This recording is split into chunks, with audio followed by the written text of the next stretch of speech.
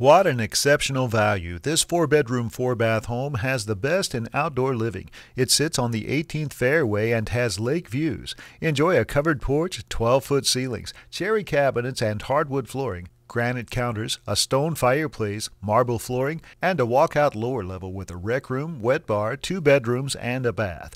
Amazing. Call Sandra today.